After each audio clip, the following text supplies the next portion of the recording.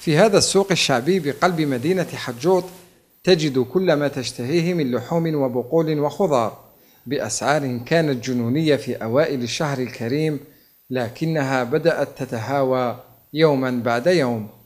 ثم par rapport ثم تقريبا كيما ال congelé تقريبا ثم من 90 من 90 حتى ل 100 حوالي 90 95 100 والرانجو كي تكون دعوة على تالي نحسبوا أقل من 100 les prix دركا par rapport للفطار دركا راهي moins cher على الفطار.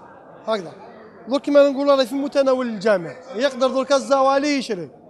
par rapport للفطار السردين كان 40000 50000 دركا راه 20000 25000 الحوت كان 100000 120000 الباجو دركا راه 50 60 70 على حسب السوق. البقوليات والعجائن لا ترضخ لقانون العرض والطلب للسوق وإنما تسجل ارتفاعا مستمرا رغم أي ظرف مهما كان. فري هذو راهم يتخالفوا على على الفطار بين رمضان والفطار يتخالفوا بزاف. كاين مثلوها حاجة تكون سوا 9000 10000 تولي 15000 16000 آه وهذا هو المهم كاع المواد كاع تختلف بين الفطار ورمضان.